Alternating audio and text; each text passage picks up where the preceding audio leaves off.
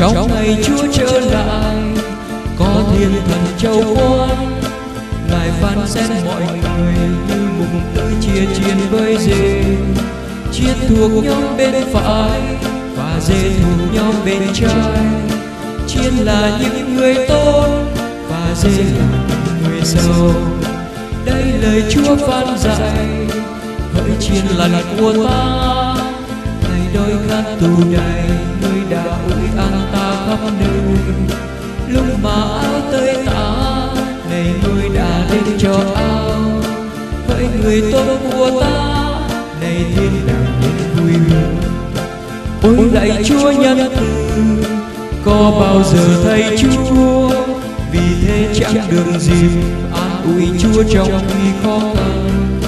Đây lời chúa phán bảo, việc tốt vì kẻ nhỏ bé đó việc tốt vì ta. này thiên đàng đến vui hương.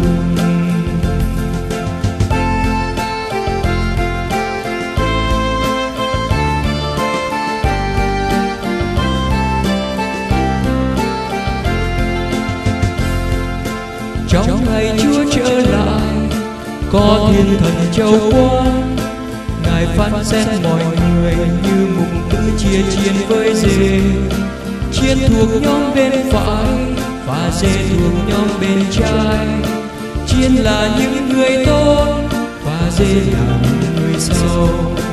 Đây lời Chúa phán dạy, hỡi chiên lành của ta, ngày đôi khát tù đầy người đã ủi an ta khắp nơi. Lúc mà áo tơi tả này người đã đến cho áo. Hỡi người tốt của ta này thiên đàng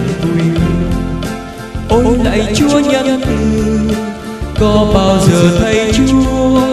Vì thế chẳng được dịp an ủi chúa trong khi khó khăn. Đây lời chúa phán bảo, việc tốt vì kẻ nhỏ bé.